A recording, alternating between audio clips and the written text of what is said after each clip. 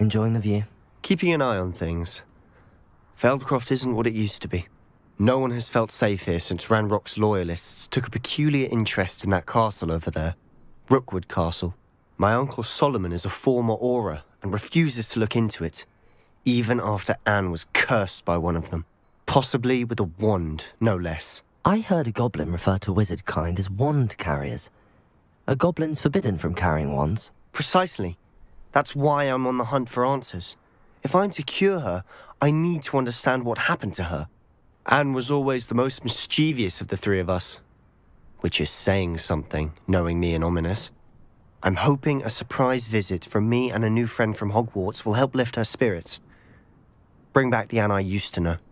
Come on. I'll take you to my uncle's. This way.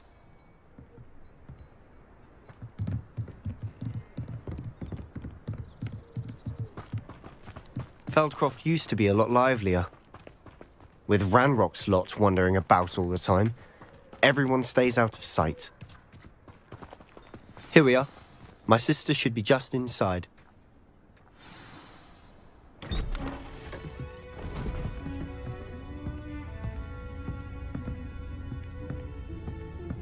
Aha!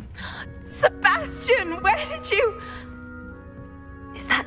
Is I think it is? We've been over this, boy. Hey. Shrivelfigs cannot reverse a curse. Nothing can. The sooner you accept that reality, the better. But we haven't tried everything. There is no cure! When will you accept that? Never. I can never accept it. Now look what you've done. I'm sorry. Leave.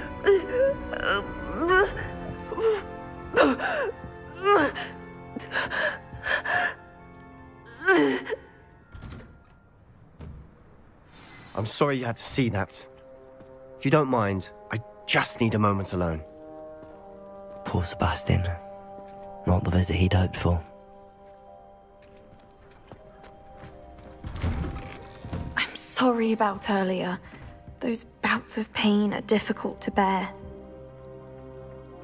Are you alright, Anne? I I didn't mean to intrude. You didn't, truly. And I'm all right. The pain from this curse comes in bouts, and often suddenly. It's not anyone's fault. It's nice to meet you, by the way. You must be the new fifth year Sebastian told me about. I am. Sebastian and I met on my first day at Hogwarts, in the Slytherin common room. Oh, the common room. Ah, I adored teasing first years about spotting mermaids through the window. I do miss Hogwarts, but I wouldn't mind being in Feldcroft really if it wasn't so dreary now. Between the goblins at the castle and my uncle fighting with Sebastian whenever he's home, it's not the cozy retreat it once was. Sebastian mentioned something about your uncle being an ex-Auror, but refusing to go after Ranrock's loyalists. I must say, I wasn't prepared for him to be as angry as he was. Uncle Solomon is frustrated by what happened to me and by Sebastian for thinking he can fix it. They both mean well, I know they do, but my uncle is right. This curse cannot be undone. I can feel it. Sebastian cannot take away my pain. Perhaps you can help him to understand that.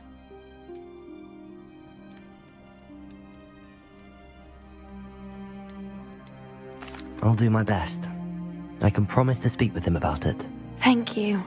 His search for a cure is futile, I'm afraid.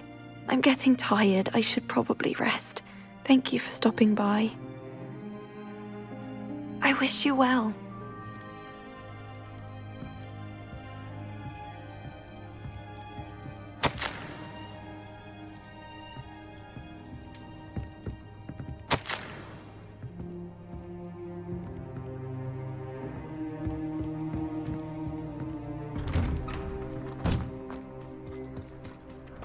That boy will fray my last nerve.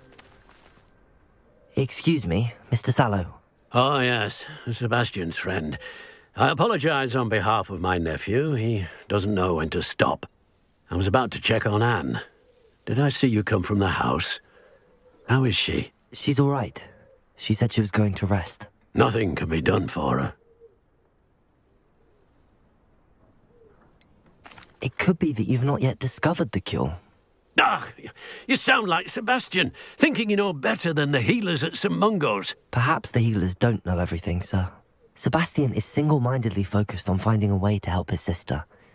If there is a cure, he will find it. Your faith in Sebastian is misplaced. Some sort of dark magic cursed Anne, and the goblins aren't likely to explain themselves any time soon. Giving her hope is cruel. The only thing to do now is keep Anne comfortable and stay out of the Loyalists' way.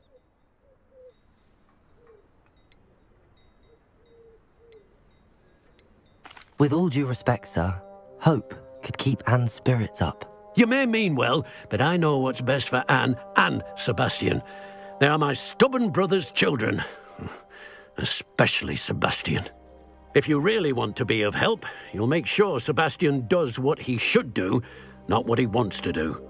He's no idea the harm he could do if he doesn't stop. I hope you'll remember what I've said. Good day.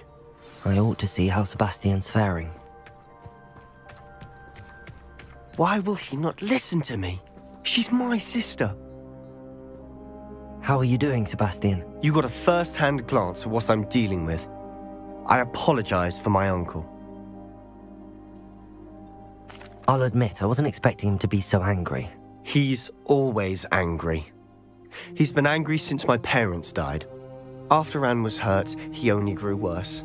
It's as though he blames me somehow, always calling me my father's son, as if that's an insult. I'm the one trying to help her. He's simply given up. Both Anne and your uncle seem genuinely convinced that nothing more can be done for her. I refuse to believe that. Anne's pain is more than physical.